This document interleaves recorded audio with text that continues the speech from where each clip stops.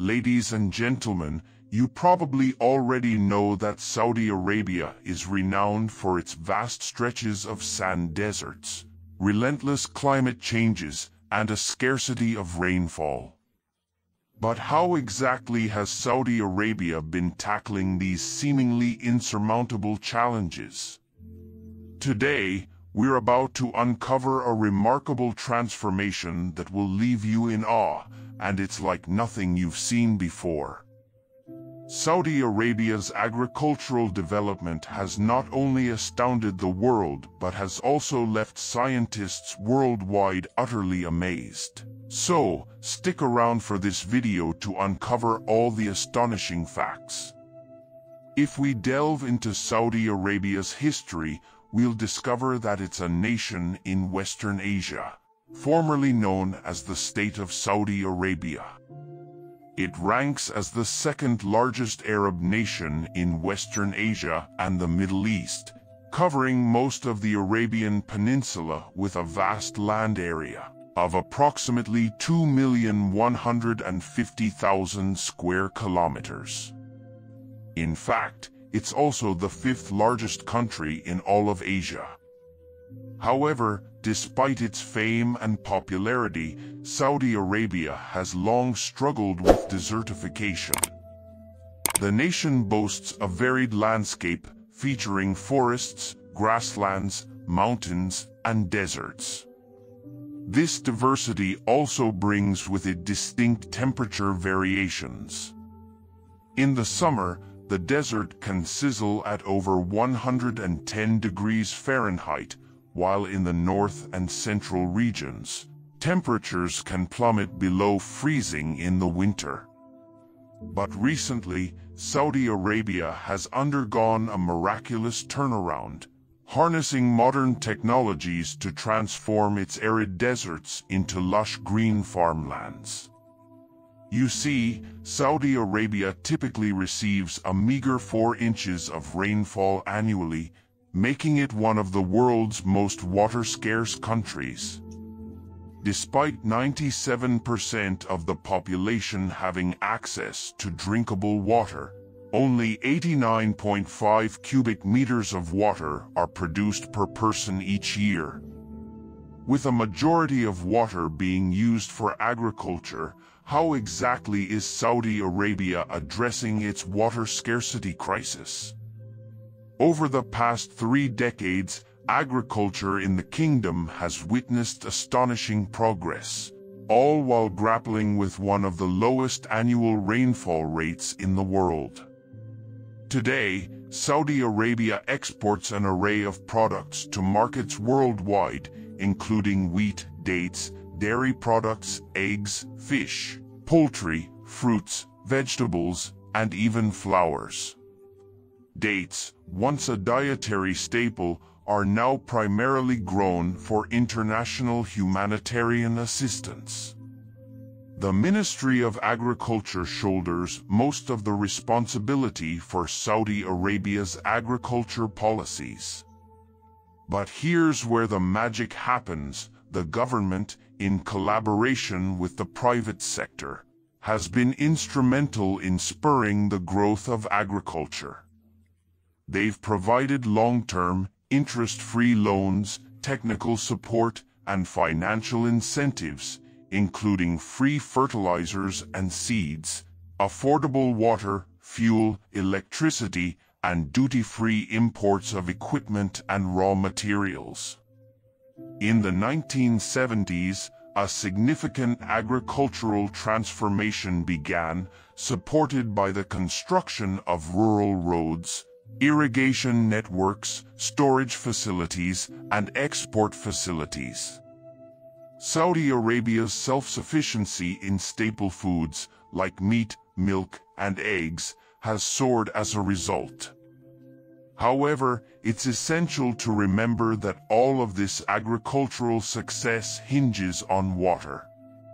Saudi Arabia has secured a vast water supply through an extensive network of dams to capture valuable periodic floods, tapping into underground water reservoirs through deep wells, and constructing desalination facilities to convert seawater into fresh water for cities and industries.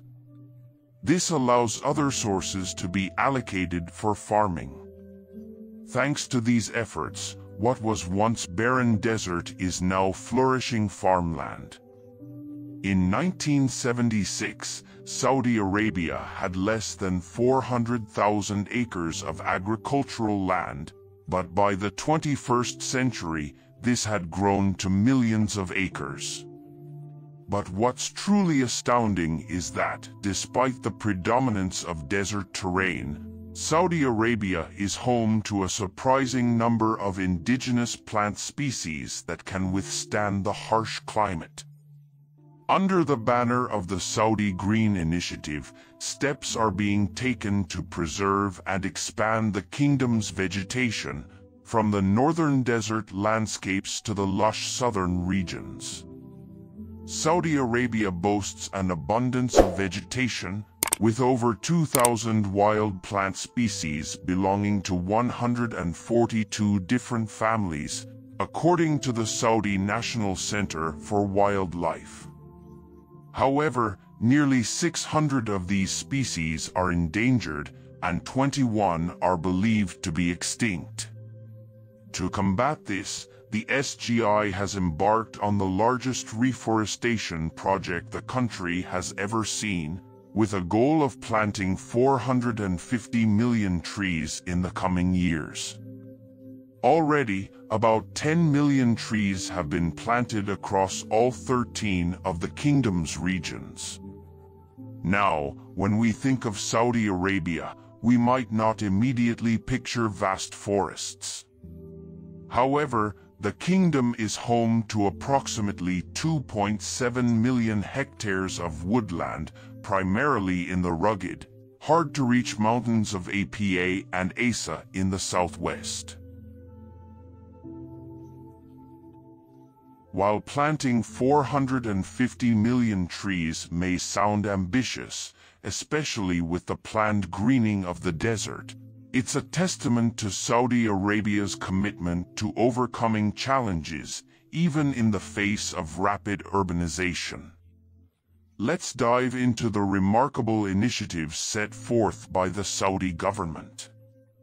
Their specific SGI objectives are aimed at seamlessly integrating green spaces into urban growth, encompassing parklands and forest stations within the kingdom's desert cities. The goal is to counter the potential downsides of urban sprawl, by greening these unmanaged urban surfaces, we're not only slowing down global warming but also reducing carbon dioxide emissions, enhancing air quality, opening up possibilities for more active lifestyles, and sustainably beautifying our cities. On the flip side, the greening initiatives in rural areas face unique challenges desertification, scarce water supplies, and record-high temperatures are all pressing issues, often attributed to human-induced climate change. The SGI roadmap is a comprehensive effort to protect the kingdom's unique biodiversity, halt and reverse desertification and soil degradation, and preserve the nation's limited water resources in regions where rainfall is insufficient and groundwater is depleted.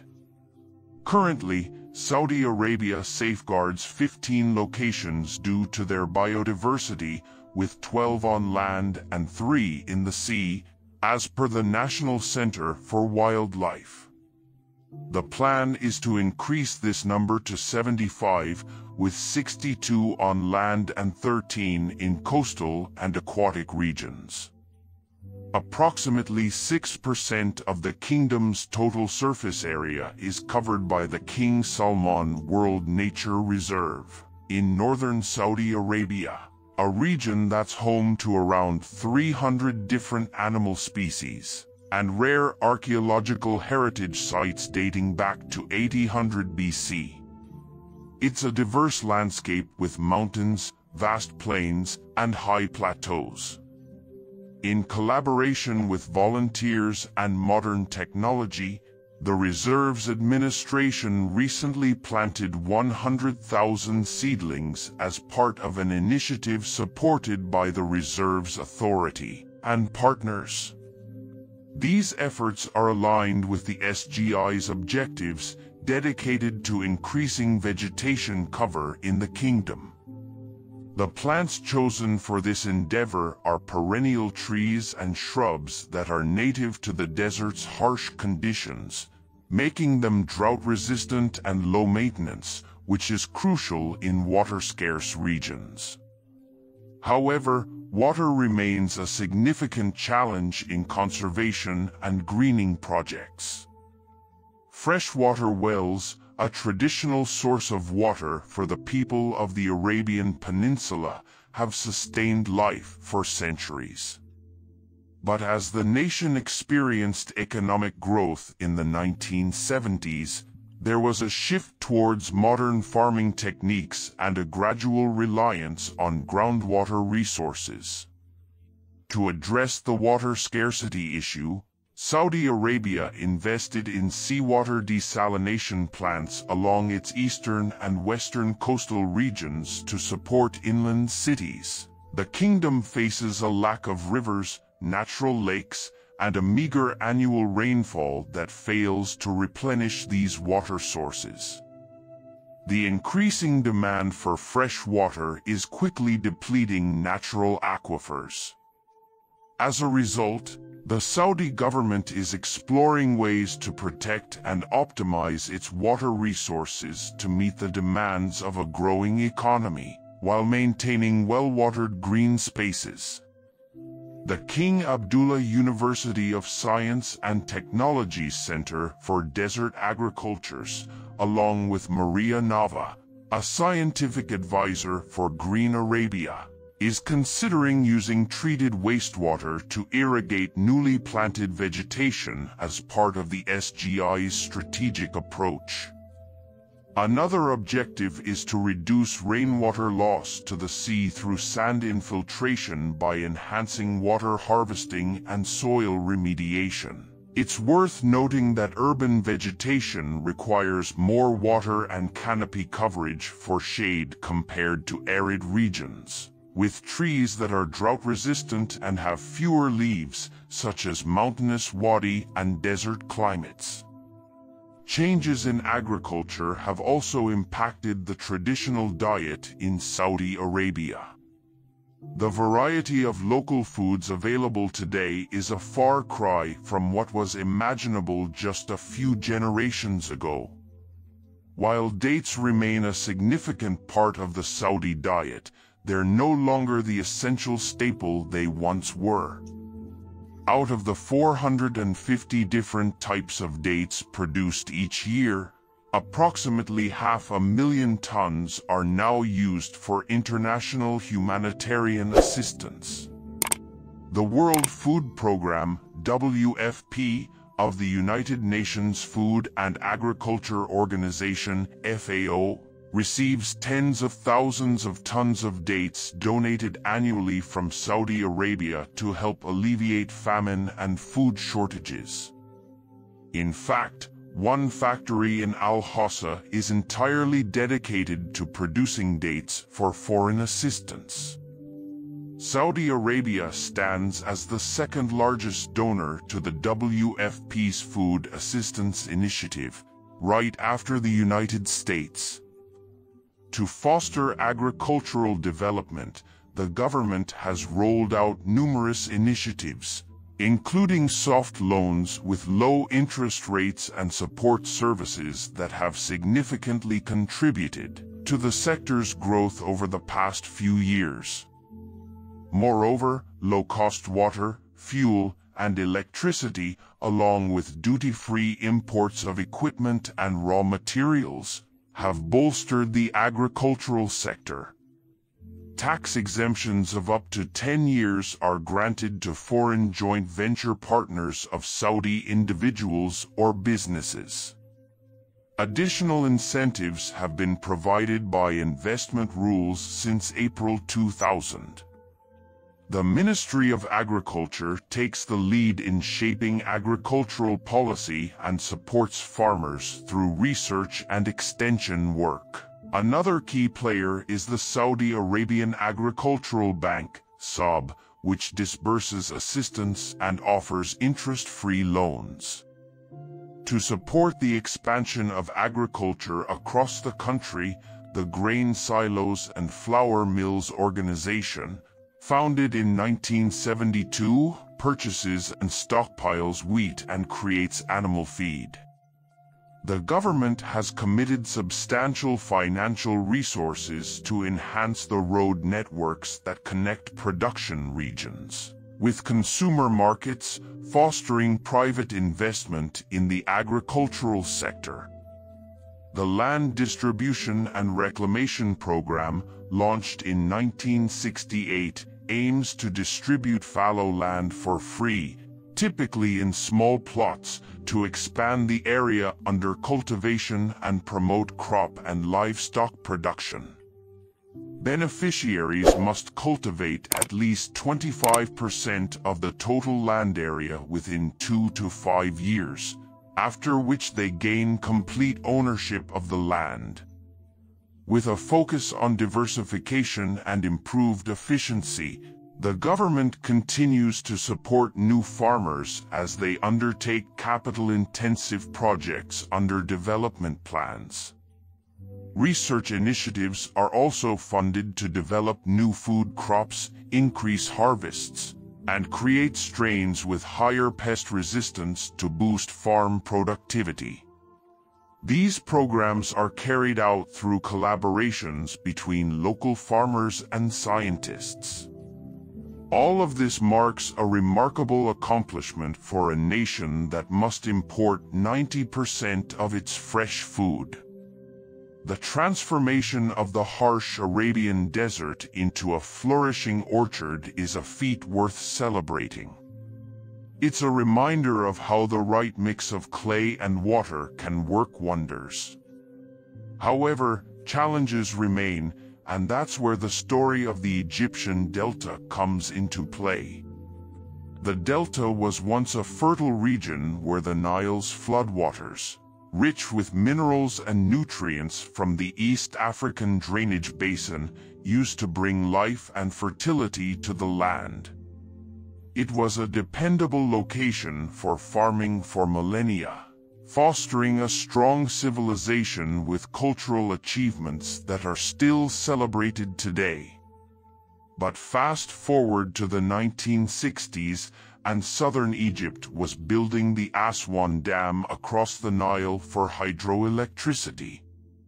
The consequences were profound, and the once fertile delta faced a dramatic loss of fertility. The key was the clay particles carried by the Nile's floodwaters, and when that source was cut off, the soil's resilience and fecundity disappeared. The Nile's annual flooding had been a lifeline for Egypt, delivering not just water but essential nutrients to the fields. With the construction of the Aswan Dam, it seemed like a leap forward, but it came at the cost of the delta's fertility. This shift in the balance of nature serves as a crucial reminder of how interconnected our actions are with the environment. The Saudi Green Initiative is a step in the right direction, highlighting the importance of preserving our environment, ensuring a sustainable future, and embracing the lessons learned from history. We must continue to find innovative ways to address these challenges, promote green spaces, and sustain our precious resources. It's a journey that will impact not only our generation but generations to come. Thank you for joining me on this adventure of knowledge and exploration. How we're changing the game of agriculture and transforming deserts into oases of life. It's an incredible journey, so let's get started. Imagine a world where you could control flooding and make farming more predictable and manageable. that's precisely what a game-changing structure did. Stretching 2.5 miles or 4 kilometers wide, it revolutionized how we harness nature's power. But it came with a catch. It halted the flow of vital nutrients downstream. You see, these nutrients were nature's way of providing a yearly top-up to the fertility of estuary soils. Without this natural replenishment, these soils would have been depleted within a decade. It was a puzzling challenge, but soil scientists and engineers were up to the task. The solution? It came in the form of nanoclay, introduced by Desert Control, a Norwegian company. It's not too different from what you might find in your backyard, but its effects are remarkable. You see, thin soils with little organic matter struggle to retain moisture and support plant growth. But when you add the right amount of clay, it can work wonders. Desert Control's nanoclay method is like magic. It's turning barren desert territory into fertile grounds for farming. You might think clay is nothing new in farming, and you'd be right. Farmers have used clay for centuries to improve their soils. But here's the twist, it used to be labor-intensive and destructive to underground ecosystems. Traditional plowing and excavation had their environmental costs, from exposing carbon to releasing it as carbon dioxide into the atmosphere. The intricate soil biome was disrupted. It was clear a new, more sustainable approach was needed. And this is where Saudi Arabia's hidden treasure comes into play. Did you know that Saudi Arabia is searching for something even more precious than oil? For the past 24 years, it's been tapping into buried water supplies to cultivate wheat and other crops in the Syrian desert. The magic comes from drilling through the desert floor to access underground rivers and lakes left over from the last ice age. This fossil water once flooded aquifers, and these ancient water sources are now being used to irrigate crops. It's a marvel, really, a testament to human ingenuity. Water is a non-renewable resource in this region, with annual rainfall averaging about one inch per year. Hydrologists predict that it will only be cost-effective to pump water for roughly 50 years. The stakes are high, and there's much to gain, but also much to lose. Let's talk technology now. Farming isn't just about seeds and soil, it's a world of innovation. Microirrigation, which uses small amounts of water close to the plants, is changing the game. Imagine sprinkler systems where water is sprayed or gravity systems that flood the fields or use furrows to channel water. It's like choreographing a ballet of hydration for the crops. Farmers are becoming tech-savvy, using soil moisture sensors, decision support tools on their computers or smartphones, and remote control of irrigation equipment. It's a bit like farming in the digital age, and it's boosting farm profitability while conserving water. But there's more to the story. You might think that water conservation is a key driver of technology adoption, but the data suggests something else. Profit and risk reduction are the real game changers for farmers embracing these innovations.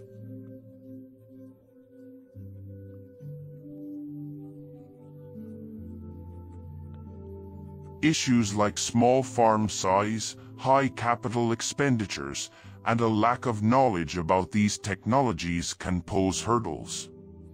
Connectivity is another challenge, especially in rural regions with limited access to broadband. So, there's room for growth and learning in the world of precision agriculture. Now, let's talk satellites and technology. Landsat satellites have been our eyes in the sky since 1982, giving us a bird's-eye view of our changing world.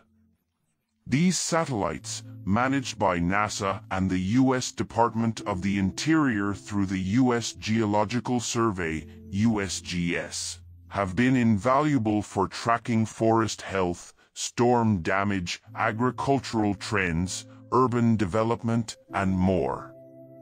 Through Landsat's 40-year archive of images, we've gained a better understanding of our changing planet. Landsat has been a critical tool for environmental monitoring and research, and it's publicly accessible online.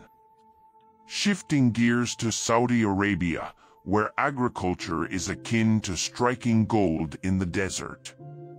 One-third of the Earth's land surface is desert, characterized by low precipitation, sandy soil, and scorching temperatures. Yet, millions of people rely on deserts for their livelihoods. These deserts are their source of food and employment. The challenge is real. Factors like climate change, population pressures, extreme temperatures, low soil fertility, and water scarcity pose serious threats to desert agriculture. But the story doesn't end there. Over the decades, we've witnessed remarkable advances in desert agriculture. Technology, renewable energy, desalination, and innovative water-saving methods are turning arid soil into productive farmland. These technologies are game changers, increasing crop output while reducing water and energy consumption.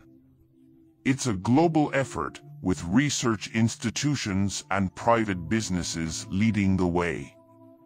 These advancements are vital as deserts often rely on non-renewable or salty water sources, making groundwater control a top priority. Now, let's talk about ICARDA, a solution to systematically transform desert agriculture. By integrating traditional farming practices, nature-based solutions, and affordable technologies, we're scaling up integrated desert family farming systems, IDSAT. These systems are the key to preserving desert food networks and agrobiodiversity. In many desert regions, people live on as little as 100 millimeters of rainfall per year. Desert farming isn't just a choice, it's often the only source of food production and employment. But the perfect storm of climate change, poor land management, and isolation from markets poses a significant threat. The good news is that with the right mix of innovative technologies, policies that support desert farming, and local knowledge, we're not just surviving, we're thriving. From horticulture to date palms, irrigated forages to protected agriculture, we're making the impossible possible. However, the heart of desert agriculture remains water. Pumping water from non-renewable or salty sources is a necessity. The real challenge lies in long-term groundwater control, making it a top priority in desert farming. This wraps up our incredible journey through the world of desert agriculture. It's a testament to human innovation and resilience. What do you think about Saudi Arabia's transformation? Let us know in the comments below. And if you enjoyed this, don't forget to hit the subscribe button, the notification bell, and that all-important like button. Stay tuned for more exciting stories. See you next time. If you enjoyed this video, give it a thumbs up and share with your friends so we can keep making them. For more videos like this, hit the subscribe button and remember to click on the notification bell. Also, be sure to check out our other videos as well. Thanks for watching.